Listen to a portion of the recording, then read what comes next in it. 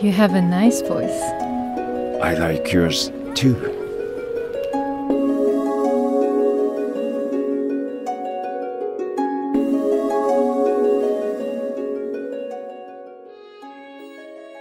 Almost a century ago, there lived a Japanese man, Ray, and a French woman, Louise.